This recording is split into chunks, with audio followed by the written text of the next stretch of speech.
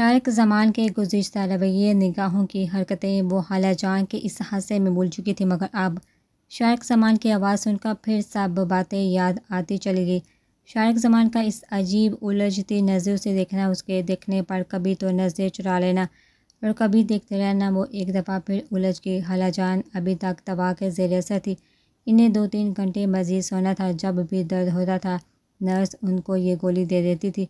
वो यूँ ही टहलती रही जोहर की अजान हुई तो वो कमरे में मुलहका बाथरूम में घुस गई वज़ू करके दूसरे बिस्तर की पायंती की तरफ़ से चादर उठाकर ज़मीन पर बचाई वो नमाज़ अदा कर रही थी। चार सुंडे अदा करके वो फ़र्ज़ अदा कर रही थी जब एकदम दरवाज़ा खोलकर शायद सामान अंदर दाखिल हुआ था।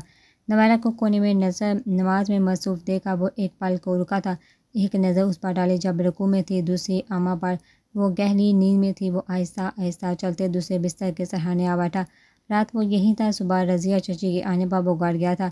फिर ऑफ़िस चला गया वहाँ वो मसरूफ़ हो गया, लेकिन हाल था कि चची अम्मा के पास होगी, गुमान नहीं था कि ये जहाँ होगी।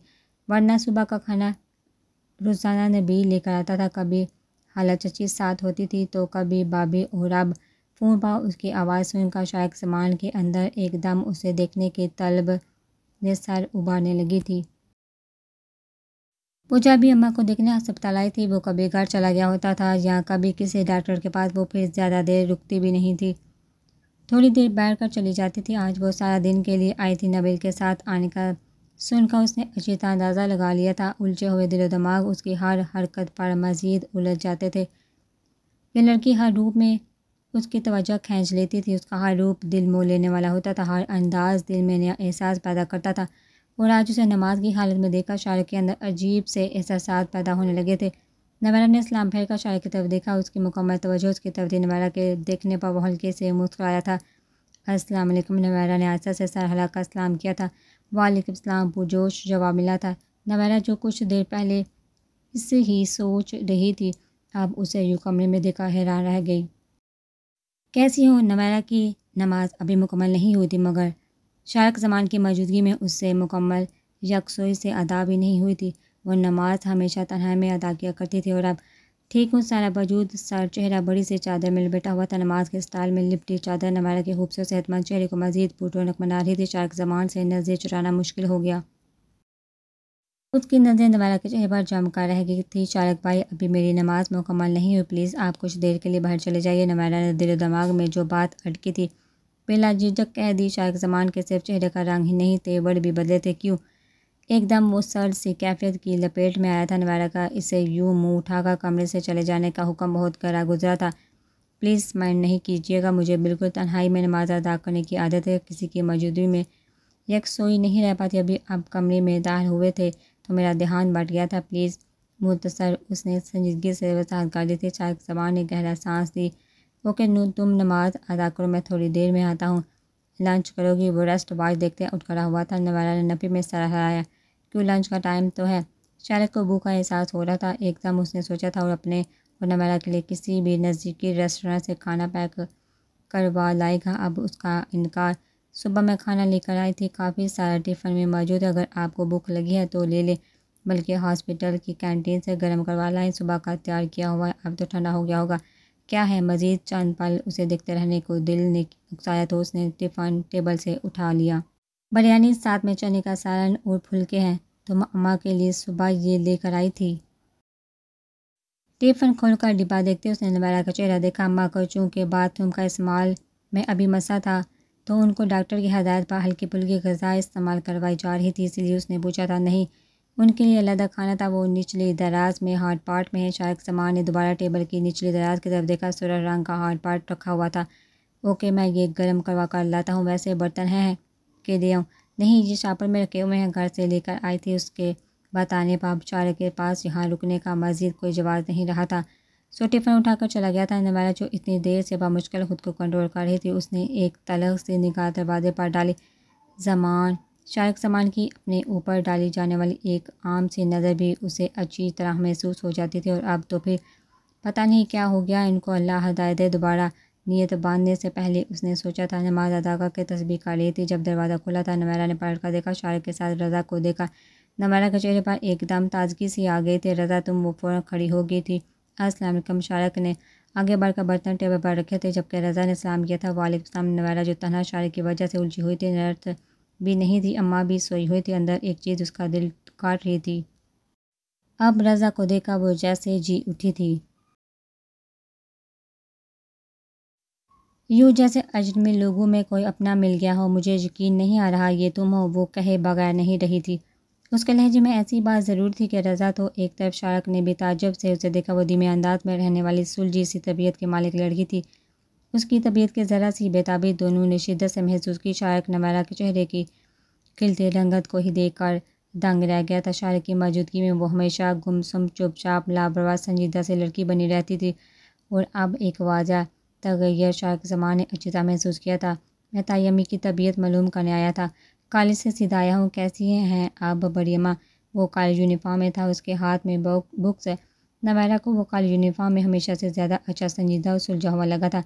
ज़ाहिर है टांग का मसला फ्रैक्चर हुई है। अब ऐसा ऐसा ही आराम आएगा तुम खड़े क्यों हो? बैठो ना।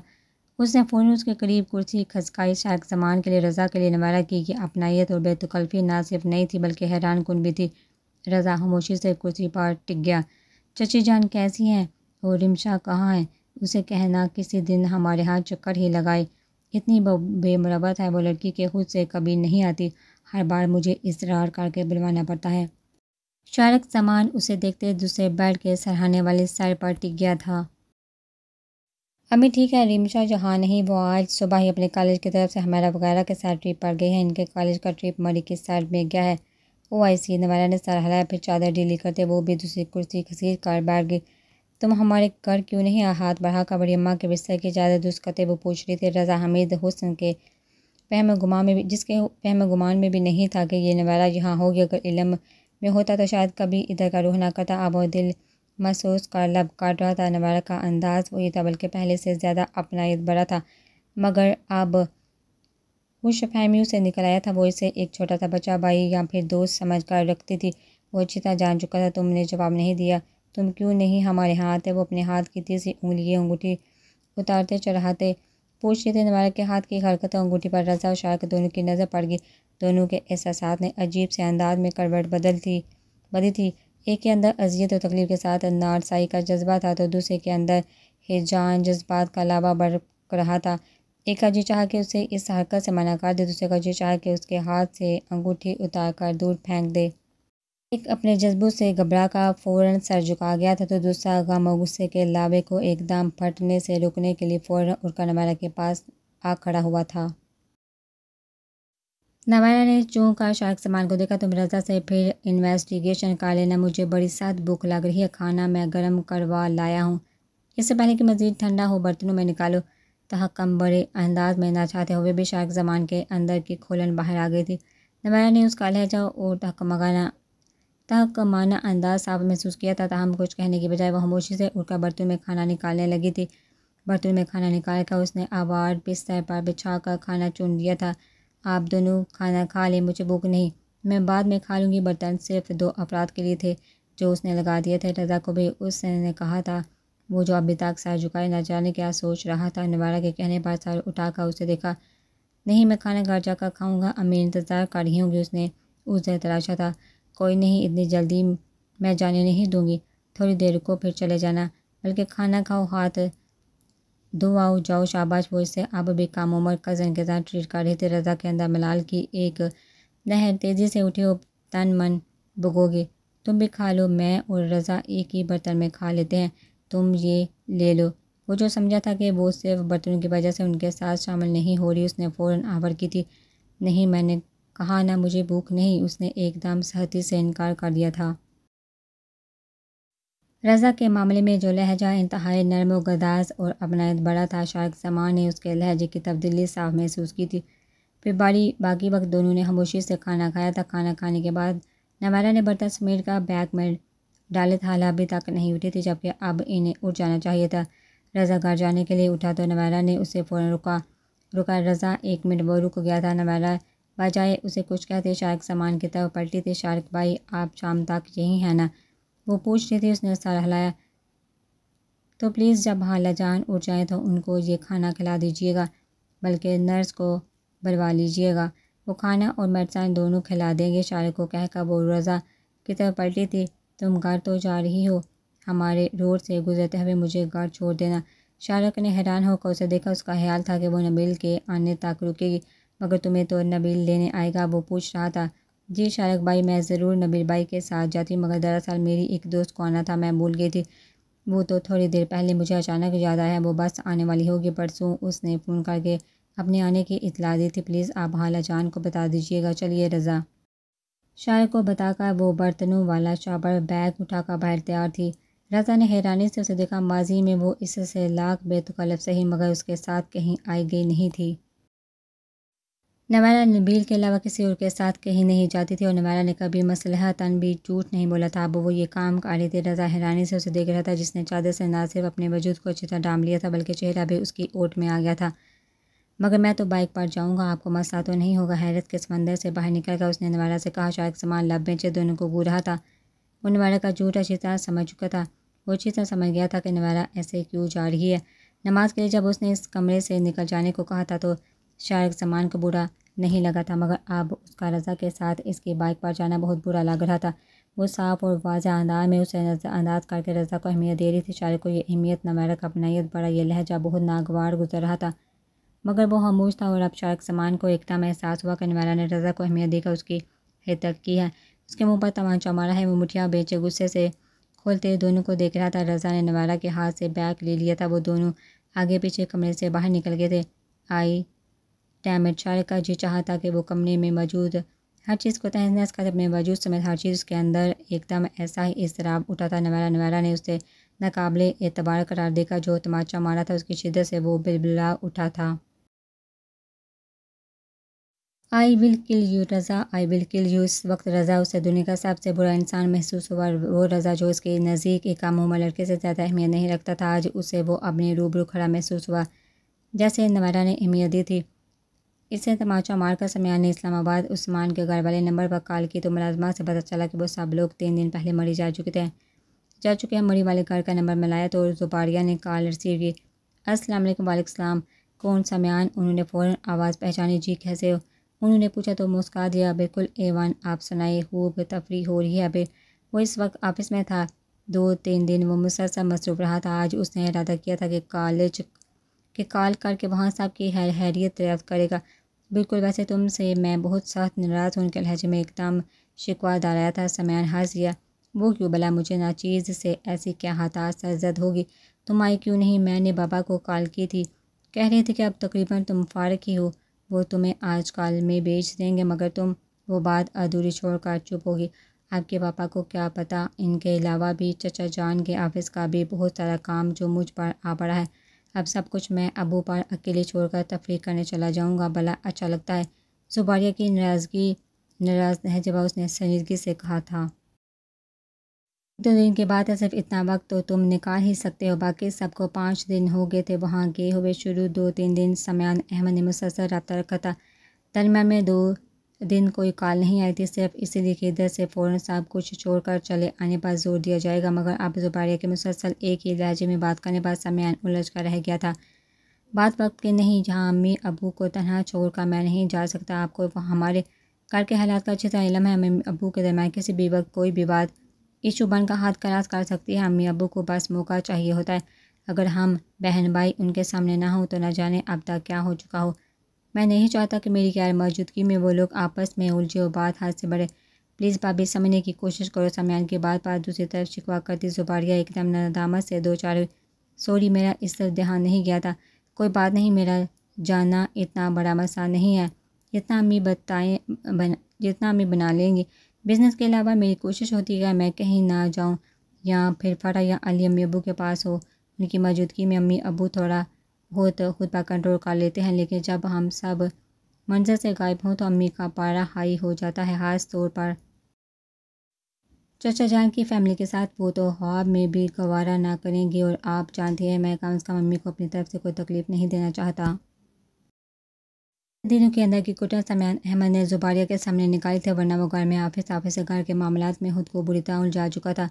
मगर जहन कितना भी उलझा हुआ क्यों ना हो? जब दिल उलझा हुआ हो तो हर मसरूफियत इंसान को अजियत और तकलीफ़ से दो चार कर देती है। अपने आप को बेपना मसरूफ़ करने के बावजूद वो खुद को तन्हाई के एहसास से ना बचा पाया था। घर में फरा और अली के ना जाने, अली के जाने से पहले ही हल्की सी चिपकले शम्मी और अबू के दरमियान हो चुकी थी और समियाना अहमद अपनी तरफ़ से अम्मी को मज़ीद टेंशन में मुबतला नहीं कर सकता था। छोड़िए इन बातों को, आप बताइए। खूब इंजॉय हो रहा है, हम बहुत मज़ा आ रहा है, हम सब तुम्हें बहुत मिस कर रहे हैं। मगर है तकरीबन रोज़ कहीं ना कहीं घूमने निकलते हैं, उन्होंने मूड बदलते हंस का बताया था, आज कहीं नहीं गए थे। नहीं नतिया गली गए हुए थे, मगर जल्दी लौट आए जरिश की तबीयत ठीक नहीं, इस्लामाबाद में तो वो ठीक ही थे, मगर मरी आते हैं, उसे ठंड लगी है बुहार से मुसलसल पर ही, आज हमारे साथ चची जान और जरिश नहीं गई थी, बाकी हम सब ही गए थे।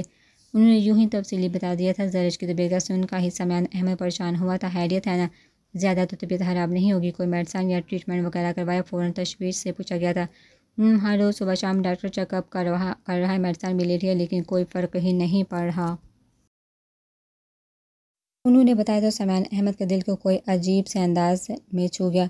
कहाँ है वो इस वक्त? वो इससे नाराज़ के समान अहमद की तकरीबन शुरू के दो तीन दिन सबसे बात होती रही थी।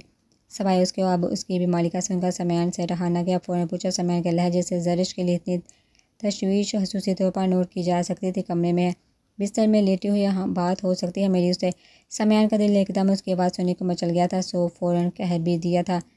ठहरो एक मिनट मैं देखती हूँ मैं ये कार्ड लेस इसे देती हूँ अगर सो ना गई हो तो बात का लेना। भाभी से कह कर चली गई थी समयान रिसीवर कान से लगाए मतवजा था जरिश दूर से भाभी की आवाज़ सुनाई दी हूँ। इस जरिश थी समयान पूरी तरह मतवजा हुआ जरिश ये तुम्हारी कार है। किसकी है? इंतहाई हल्की आवाज़ थी। समयान अगर पूरी तरह मतवजा ना हो तो, तो शायद समझ भी ना पाता। समयान है, मैंने तुम्हारी तबीयत का ज़िक्र किया है तो बात करना चाहता है। कह दे, सो गई हूँ, मुझे नहीं किसी से बात करनी। प्लीज़ मना कर दे। इंतहाई चिड़चिड़ी तलह सी आवाज़ समयान जरिश की नाराज़गी का तस्वर कर के ही परेशान हो गया। अभी तक ये लड़की नाराज़ सी जरिश कितनी बुरी बात है, इतनी दूर से समयान ने सिर्फ़ तुम्हारे लिए कॉल की है। तुम्हारी तबीयत का सुनकर इतना परेशान हो रहा है, आराम से बात करो। भाभी ने उसे शायद डांटा था। लो बात करो, भाभी प्लीज़ मना कर दे इसकी इनकारी आवाज़। बहुत वाजह थी जरिश उन्होंने शायद टोका था, लाइए दे, नाराज़गी से उसने शायद कार्डलेस साम लिया था। हेलो, वही नाराज़गी बेपना हब की चिटराहट का वाजह तासुदा, समयान अहमद ने एक गहरी सांस ली। जरिश समयान, बहुत मोहब्बत और तवज्जो से पकारा था। यूँ लगा जैसे उस पकार में दिल के सारे जज्बे बंद के हूँ। हेलो हेलो, दूसरी तरफ़ सिर्फ़ यही आवाज़ आ रही थी, जरी, ये मैं हूँ, समयान, आवाज़ आ रही है तुम्हें उसके हेलो हेलो कहने बाद समयान ने तेज़ी से कहा था मगर दूसरी तरफ़ दर्ज की आवाज़ सुनकर समयान बिल्कुल चुप साथ गया। हेलो हेलो भाभी, लाइन क्लियर नहीं है, पकड़िए उसको। आप कॉल आए तो ना तो मुझे डिस्टर्ब नहीं कीजिएगा। सोना चाहती हूँ मैं प्लीज़ समयान को इसका एक एक लफ्ज़ वाजह सुनाई दे रहा था, और वो कह रही थी कि लाइन क्लियर नहीं है। समयान ने लब बेंच ली, वो इससे बात नहीं करना चाहती थी। इतनी शिद मोहब्बत और अपनाइए से पुकारने के बावजूद उसने समयान के पुकार को नज़रअंदाज कर दिया था वो जो कहती थी कि समयान भाई, मैं आपसे ना मिलूँ तो मुझे कुछ भी अच्छा नहीं लगता, किसी से बात करने को जी नहीं चाहता वो समयान से नाराज़ थी और इस कदर नाराज़ कि उससे बात करना तो दूर की बात फ़ोन सुनना भी गवारा नहीं कर रही थी। हेलो बाली, बाबी की आवाज़ माउथ पेज से उभरी थी समय ने आजकी से रिसीवर क्रेडिट पर डाल दिया, वो नाराज़ है, वो बाहर में पनक रही है, उसकी तबीयत ठीक नहीं है समय ने अहमद का जहन सिर्फ़ इन्हीं तीन बातों का गिर चक्कर लगा रहा था। उसने कितने ईमान और यकीन से समयान को अपने साथ चलने को कहा था और समयान के इनकार पाना से वो इससे बुरी तरह से नाराज़ हो चुकी थी, बल्कि वो समयान का तोहफा भी उसके कमरे में ही खामोशी से गिरा गई थी। समयान ने अहमद कदर जरिश की हराब तबीयत का सुनकर एकदम सब कुछ यहीं छोड़कर मरी उड़ कर चले जाने को उकसाने लगा। बहुत ज़िद्दी हो तुम जरिश, बहुत ज़िद्दी समयान अहमद को लग रहा था कि ये छोटी सी लड़की उसे बुरी तरह हार जाने पर मजबूर कर ही जरिश अब हार कुछ कम हुआ तो वो शाल अच्छी तरह अपने गिर लपेट कर कमरे से निकल आए। मरी में आज उनका चौथा दिन था, आज बर्फ़बारी बाँध थी। मौसम थोड़ा सा बदला था, सूर्य कभी शक्ल दिखाकर किसी बदली की ओट में जा छुपता था। इस वक्त वो सब इस छोटे से लकड़ी के बने काटेज के लान में बैठे लूडो खेल रहे थे। जरिश ने लकड़ी की बनी इस बालकोनी से नीचे जाकर कितना मुकम्मल मंजर था। सब बहुत होश थे, पापा यहाँ आकर बहुत फ्रेश हो गए थे। वो और वो खुद बीमार होकर रह गए थे। कराची से निकलते वक्त वो समय अहमद के रवैये और इनकार की वजह से बस जान थे, मगर इस्लामाबाद आने के बाद भी सरेश का मूड नहीं बदला था। कोई चीज़ उससे अंदर ही अंदर क्लिक करती रही थी। वहाँ गुजरे तीन दिन वो सहत अजियत में गिरफ़्तार रही थी।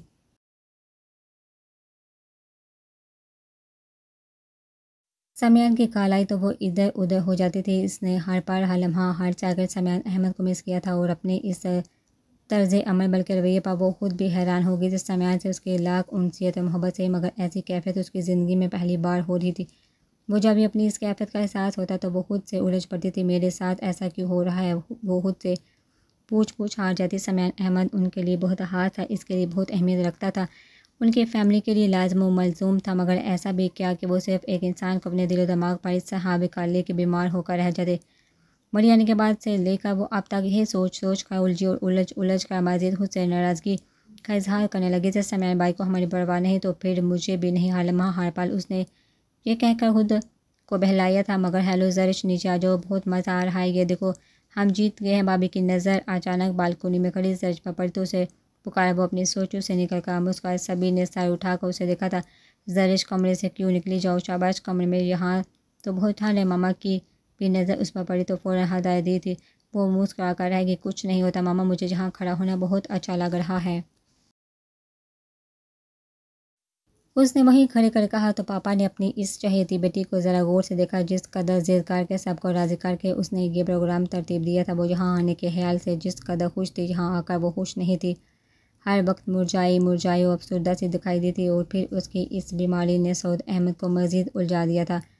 इधर आ जाओ, मेरे पास उन्होंने इशारा किया तो वो गर्दन हालाती नीचे उतर आई नीचे अच्छी हाथ से ठंडे लान में कदम रखते ही तेज़ सर्द हवा के झोंके ने उसके वजूद को छुआ था। जरिश ने कप कपा कर शाल मज़ीद मजबूती से अपने गिद लपेटी पापा के पास पहुँची तो उन्होंने बाजू वाह कर लिया तो वो इनकी कुर्सी के बाजू पर टिके। अब कैसा फील कर रहा है हमारा बेटा? उसका हाथ थाम का मोहब्बत से सहलाते उन्होंने उसका चेहरा देखा। जरिश हदी हाथ से सऊद अहमद को अंदाज़ा हुआ कि कराची से आने के बाद वो पहली दफ़ा यूँ खुल कर हँसी फ़ाइन पापा खुद देख ले। तो मुझे टम्परेचर भी नहीं है। पहले से बहुत बेहतर हूँ उनके हाथ। में अपनी कलाई देते वो वाकई पिछले दिनों से बहुत बेहतर। पूछ और दे हशाश बशाश दिखाई दे रही थी। वो मुस्काए, बहुत मोहब्बत से उसे अपने साथ लगा लिया। असलम अली की बात पर वो सब हँसी हंस रहे थे कि इस मुकाबला सब ही बटे समयान बाई पर और अली की खुशनुमा चीज़ सबने से नमाया थी। समयान भाई हाथ में था मैं सामने खड़ा, मुस्कुरा रहा था। सरज पे पलटियों साकता है कि समयान सऊद, अहमद भी फ़ौरन उठे थे। समयान अहमद मुस्का कर सबको देख रहा था। अली फरानोशी बाबी, उस्मान बाबी। उस्मान भाई, चचा जान, शाइस्ता, बेगम और सऊद, अहमद की कुर्सी के बाजू पर हैरत से देखती जरिश को तुम्हारा तो कोई प्रोग्राम नहीं थाने का इस वक्त अचानक कहाँ से टपक पड़े? सब काफ़ी हैरत से बुरा हाल था। उस्मान ने ही इस हैरत को तोड़ा। तो समय अहमद आगे बढ़कर उस्मान के गले लग गया। बस अचानक ही प्रोग्राम बना लिया वो अब सबसे मिल रहा था शाइस्ता बेगम से प्यार लेकर, वो अब सऊद अहमद के गले ला गया जरिश जो अभी तक कुर्सी के बाजू पर टिकी हैरत से जगटक समयान अहमद को देख रही थी, इसे जो पापा के करीब देखा चूँकि फिर फ़ौरन खड़ी हुई। कैसी हो तुम? चचा से मिलने के बाद समया ने अब उसकी तरफ़ हाथ बढ़ाया था। कज़न से मसावा करना उनके हाँ आम सी बात थी अली समयान उस्मान, वकार, भाई, सईद वगैरह। साथ वगैरह सभी से वो हाथ मिलाती थी, मगर अब समयान के इस तफसार पर वो पजल सी हुई थी। उसने जवाबन सिर्फ़ सर हलाया था। समयान बहुत प्यारी नज़र समयान जरिश के हैरान मगर घबराए चेहरे को जायज़ा लिया था। उसका पता होना बहुत अच्छी तरह महसूस किया। पीला जर चेहरा वाकई बता रहा था कि वो गुजशत दिनों किसी तकलीफ़ से दो चार रही होगी। वो पहले भी पहाड़ में मुबता होती रहती थी मगर इतनी पीले जर्द और आँखों के नीचे हल्के कभी वाजह नहीं हुए थे। समय ने हल्के से उसका हाथ दबा कर छोड़ दिया था। जैसे ही काम से वार हुआ फ़ौरन चलाया, फिर बहुत से लोग नाराज़ से सोचा, नामा, अमाल, अब इतना बुरा भी नहीं होना चाहिए फ़ौरन रहते सब पर बांधा हुआ, आप सबके सामने यूँ क्यों खुशी नहीं हो रही? यहाँ अचानक देखा, हैरान हो रहे हैं सबके तरफ़ मुस्का कर देखते एक नज़र जरिश को जताने उसने पूछा तो सब हंसिए जरिश का सर झुका नहीं, तुम्हारा सरप्राइज़ बहुत अच्छा लग रहा है, बहुत अच्छा किया तुम आगे तुम्हें। तो हम सबने बहुत मिस किया है, सऊद अहमद मुस्का का समान का कंधा थपथपाया था समयान ने दार तलब नज़र से जरिश की तरफ़ देखा तो वह संजीदगी से मोड़ की यानी कि अभी भी माफ़ी नहीं मिलने वाली। कि नकियों से उसे देखते समय दूसरों की तरफ़ मतवजा हुआ था। जरिश की तबीयत की खराबी और फिर उसका कॉल रिसीव ना करना, बल्कि उससे बात ना करना समयान को जहाँ आने पर मजबूर कर दिया था। वो हर चीज़ बर्दाश्त कर सकता था, मगर जरिश की नाराज़गी नहीं, उसकी तबीयत का सुनकर तो वो खुद को अजीब सा बेबस महसूस करने लगा था और अब उसे देखा एक तमानियत का एहसास रगुपे में उतरता चला गया था। हम सरिश का संजीदा से रूह मोड़ लेना वाजह कर गया था कि वो अभी भी नाराज़ है। तुम आए कैसे? कल की बर्फ़बारी से रास्ता तो ख़राब है। वो सब अंदर चले गए थे। उस्मान ने पूछा तो बाकी सब हिम्मत वजह सीधा एयरपोर्ट से ही आया हूँ। टैक्सी हायर की थी। रास्ता ख़राब था। ड्राइवर ने काफ़ी दूर उतार दिया था। पैदल चल कर आया हूँ। कल कर देते, मैं गाड़ी लेकर आ जाता। उस्मान ने कहा तो वो हंस दिया। अगर कल कर देता तो सरबाइज ना रहता। बिल्कुल ठीक कह रही हो। समय समय को सामने देखा तो वो अभी तक यकीन नहीं आ रहा था। चची की आवाज़ पर वो खुल कर हंसा था जरिश जो पूरा अंदर अपने कमरे में आ गई थी। अब बाहर उसे छोटे से काटेज के छोटे से लाउंज में गूंजती आवाज़ों को सुनकर अजीब से महसूसात का शिकार हो रही थी। समयान अहमद की अचानक आमद ने उसे भी हैरान और फिर होशी से दो चार किया था। समय से लाख नाराज़गी का इजहार से, मगर दिल ही अंदर ही अंदर खुशी से खिल उठा था। वो अपनी कैफियत में मजीद उलझने की बजाय बिस्तर पर लेट कर आँखें मुन गई थी। रात का खाना जल्दी खा लिया गया था। मेरतान का असर था कि क्या था जरिश फ़ौरन बेखबर हो गई थी। रात को दोबारा बर्फ़बारी का सिलसिला शुरू नहीं हुआ था, मगर धुंध बहुत बढ़ गई जिसकी वजह से सर्दी भी शदीद थी। दस बजे तक छोटे से लाउंज में बैठे सभी खुशखबू में मसरूफ रहे थे।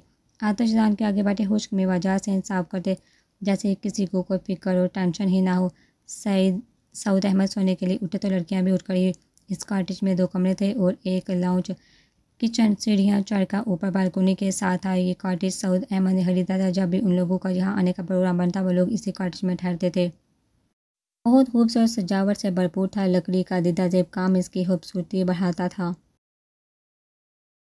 अहमद और शायस्ता एक कमरे में ठहरे हुए थे। जरिश नशीन, फरा और जोबारिया हमजा के साथ दूसरे कमरे में थी, जबकि अली उस्मान लाउंज में मैट्रस पर होते थे। आज चूँकि उनके साथ समय भी था तो तीनों लड़कों के जाने के बाद भी काफ़ी देर तक बातें करते रहे थे। फिर यूँ ही बातें करते करते जाने का पाँख लगे सोते सोते अचानक जरिश को जिसका एहसास हुआ था वो गहरी नींद से बेदार हुई थी।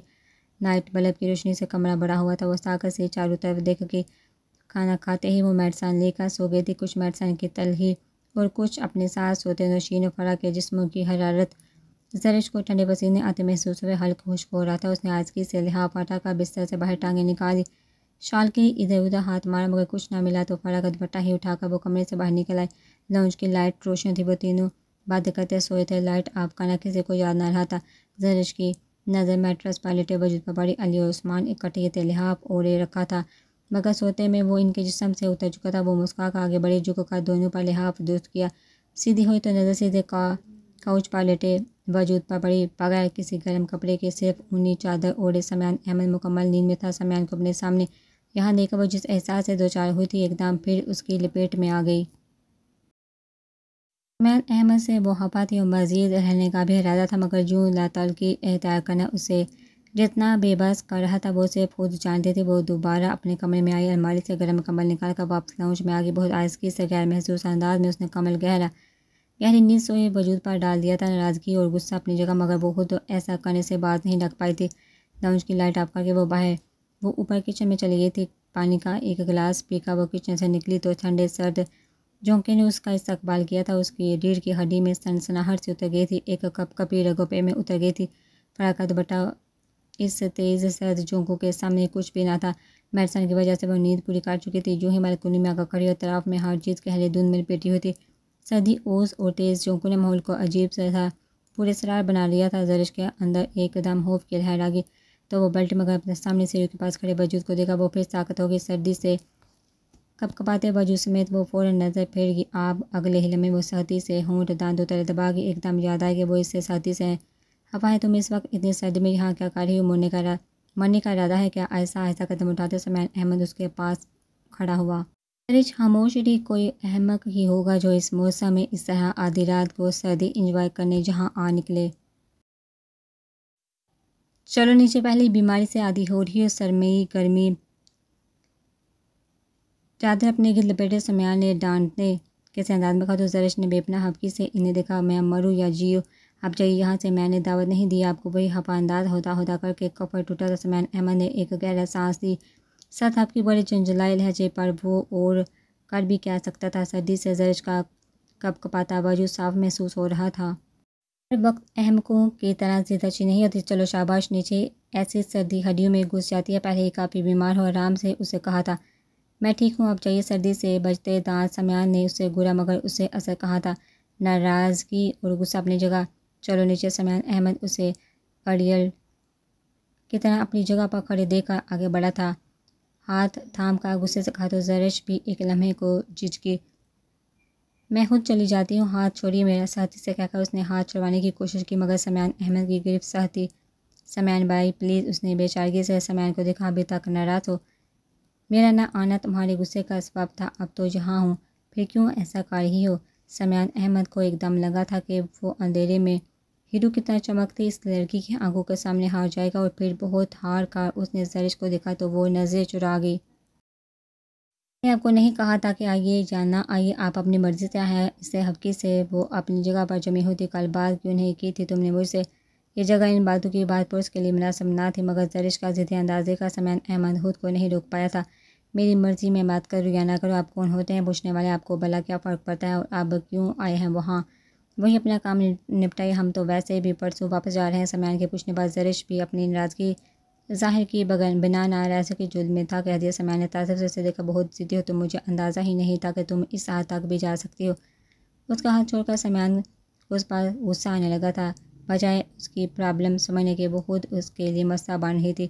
सरिश का वजूद सर्दी से कप कपा रहा था, दोबारा सर्दी पर जाने की दोबारा बीमार पड़ जाने के खौफ के बावजूद से समान के सामने मस्जिद अपने ज़िद्दी अंदाज को लिए वो रेलिंग के पास आ गए थे। तेज़ चौंकू ने उसके वजूद को छुआ तो उसने सर्दी से मुँह पर हाथ रख अपने दांतों को म्यूज़िक शुरू करने से बचाया। समय ने तासब से उसे देखा था, अगर उसकी बीमारी, बीमार पड़ जाने का खौफ ना होता तो आधी रात को उस अंधेरे में खड़ा अपने वक्त और नींद हरा अपना कर रहा होता वो ताजगी से अपने वजूद से गर्म चादर हटाकर उसके करीब आया और उसके तरफ़ पुश्त कि ये अंधेरे में घू रही थी। गर्म कपड़े को अपने वजूद के गिर्द लपेटता देखा पलटी थी। कि नहीं, लेनी, ये चादर, प्लीज़, उससे पहले कि वो चादर उतारते समय ने साथी से उसका बाजू अपनी गिरफ्त में लिया था। समय की इस जारहाना अंदाज पर उसके अंदर की सारी मजामत वही डागी समय ने गुस्से से उसका रुख अपनी तरफ़ किया था। तुम खुद को समझ क्या रही हो? मुझ जैसे अच्छे भले इंसान को तुमने क्या समझ रखा है? सिर्फ़ तुम्हारे गुस्से और जिद ज़िद्दी अंदाज की वजह से मैं जहाँ मम्मी अबू के दरमियान सख्त कशीदगी की फ़िज़ा चल रही थी, हमारी वजह से वो सिर्फ़ खुद पर कंट्रोल कर रहे थे। मैं उनको यूँ लड़ता, झगड़ता, छोड़कर यहाँ का मज़ा करता, तुमने मुझे इतना ही बेसमीर समझ रखा है ना? सिर्फ़ और सिर्फ़ तुम्हारी नाराज़गी का एहसास था कि मैं सब कुछ छोड़कर यहाँ आया और तुम हो गए। समयान एकदम आउट हुआ था, सख्त गुस्से और इश्तहाल से कहा तो ज़रिए सहम से कि इसके नॉलेज में ये बात नहीं थी, वो तो सिर्फ़ समझ रही थी कि समयान से टालने को इनकार कर रहा है। तो बजाय सिचुएशन समझने के इस तरह रिएक्ट करोगी तो लाजमी बात है कि सामने वाले बंदे का भी टेम्परीमेंट लूज होगा। समयान को खुद भी एकदम एहसास हुआ कि वो कुछ ज़्यादा सहती और ऊँची आवाज़ में कह गया तो फ़ौरन खुद पर कंट्रोल किया तुम। फ़िलहाल इसको ओरे रखो, ये तुमको काट नहीं खाएगी। बेशक इसके साथ भी तुम वही खर्च करना जो तुम लाकर के साथ कर चुके। मुझे नहीं पता था कि तुम्हारे नज़दीक मेरे दिए गए तोहफे की ये वैली होगी। समैन अहमद ने ना चाहते हुए भी शिकवा कर बैठा। वो फ़ौर नज़र चुरा गई एकदम नदामत और शर्मिंदगी का एहसास अपनी ज़िद्दी फितर बहुत बुरी लगी। उससे समैन अहमद के साथ ऐसा नहीं करना चाहिए था। हमारी शर्मिंदगी के सर ने ना उठाएगा। समैन अहमद ने बिन कहे हमेशा उसके मिसाल को समझा था तो फिर वो क्यों इतनी ना समझ रही? वो बेबसी से उंगलियाँ चटहा रही थी। सॉरी, आप मुझे ये सब पहले भी तो बता सकते थे। मैंने कितनी दफ़ा पूछा था। आपको याद होगा कि कितनी दफ़ा मैंने कहा था कि जब तक आप मुझे असल वजह नहीं बताएँगे, मैं इनकार मानने वाली नहीं मुझे दुख था कि जब सारा प्रोग्राम आपने स्टार्ट किया, मामा पापा को राज़ी किया तो फिर आप खुद साथ चलते हुए क्यों कुतरा रहे हैं? मेरा ख्याल था कि आप अम्मी की नाराज़गी की वजह से हमारे साथ नहीं आ रहे और आप ये बात मुझे बता नहीं रही मुझे आपके ना बताने पर गुस्सा आया था। बात इनकार की नहीं है, बात आपकी प्रॉब्लम को समझने की भी नहीं है। नाराज़गी और गुस्सा तो मुझे इस बात था कि आप मुझे बुला रहे हैं। जो बात आप बता रहे हैं वो पहले ही क्यों कही होती तो मैं इस तरह रिएक्ट ना करती। सारा कसूर आपका है तो फिर मुझ पर नाराज़ क्यों हो रहे हैं? क्या मुझे आपसे इस नाराज़ होने का हक़ नहीं हो जब आप हमारे सब खुशियों में लाजम है? फिर आप क्यों नहीं? ये तो फिर छोटी सी तपरी थी, मैं यहाँ सिर्फ़ पानी पीने आई थी, मगर वो फिर मगर वो फिर हंसती थी, उसका चेहरा, उसकी आँखों का हाथ तासर उसके पेशानी पर मौजूद दोनों बमों के दरमियान तिल हर चीज़ हो, उसकी हँसी के ताबे मुस्करा उठी थी। समयान का दिल इस तरफ़, इसकी तरफ़ झुकने लगा था मामा पापा में से कोई उठ गया और मुझे जहाँ देख लिया तो समझो कि जूते पके इससे पहले कि दोबारा बीमार पड़ू, नीचे चलते हैं उसके अंदर का मौसम क्या हल्का फुल्का हुआ था, वो खुद भी हल्की फुल्की होती चली गई थी, जरिश में नीचे जाने को पलटी थी, आवाज़ थी कि उसके पैरों पर कोई जंजीर पड़ी थी, एक लम्हे को दोस्त पुकार पर जरिश में साकत रहेगी वो पलटी थी समयान के देखने का अंदाज, वो अभी भी ना समझी समयान अहमद मुकम्मल तौर पर मतवजह था, ये लो अपनी अमानत समयान अहमद ने बंद मुठी उसके सामने की थी। उसने इंतहाई ताजुब और हैरानी से पहले बंद मुठी को और फिर समयान को देखा। उसे समयान अहमद उसे नाकबिल फहम महसूस हुआ, जैसे कोई पीली या पहली या छुपा कोई रात। मेरी अमानत को कुछ भी ना समझ पाई। समयान ने मुस्का का सर हलाया मुट्ठी खोल दी थी। अल्लाह खुश और खुशी और ताजब से वो हल्की सी चीही थी। फिर समयान को देखा, वो सिर्फ़ जरिश के चेहरे की रोशनी देख रहा था, उसके तासा जाँच रहा था। जरिश ने उठाने को हाथ बढ़ाया। अभी उसने समयान की हथेली पर रखे लाकर को अपनी उंगली से छुआ। था समयान अहमद ने मुट्ठी बाँध का ली। जरिश का हाथ उसकी मज़बूत गिरफ्त में था। जरिश को मज़ीद हैरत हुई। तुमने ये क्यों उतारा समयान पूछ रहा था। जरिश का शर्मिंदगी से बुरा हाल था। तुम्हारे नज़दीक मेरे तोहफे की ये कदर है। कोई इस तरह यूँ बेदर्दी से जंजीर तोड़कर वहीं मेरे कमरे में फेंकाना मुझे बहुत तकलीफ़ हुई थी इसका तो यही मतलब हुआ ना कि या तो मैं अच्छा नहीं, या मेरा तोहफा समया ने बहुत संजीदगी से चुका किया था। जरिश ने सर ना उठाया, जहाँ वो गलत थी और अपनी गलती वो मानती भी थी। इस वक्त समयान ने जब इनकार किया तो उसने जंजीर को झटका दिया था और फिर जंजीर टूट गई। समयान के इनकार ने इतनी तकलीफ़ दी थी कि उसे खुद भी समझ आई कि वो क्या कर चुके हैं। लाकर मुट्ठी से नीचे गिरते वापस गुस्से से घर आते और अब तक नाराज़गी का इजहार करते हर पर हर लम्हा उसे लाकर ख्याल आया था और आई एम सॉरी आपको पता है मैं गुस्से में हर बात भूल जाती मुझे धीमे से, वो धीमे से, वो भी अपने दिल के बरास निकाल गई और फिर उसके जवाब की मुंतजर से समयान अहमद धीमे से मुस्कुरा दिया हाँ हाँ क्या मगर छोड़ो। इस बात को ये भी सच है कि मैं अम्मी की वजह से भी नहीं आना चाह रहा था, चचा वगैरह के साथ यूँ तफरी आता इन्हें बहुत नागवार गुजरता।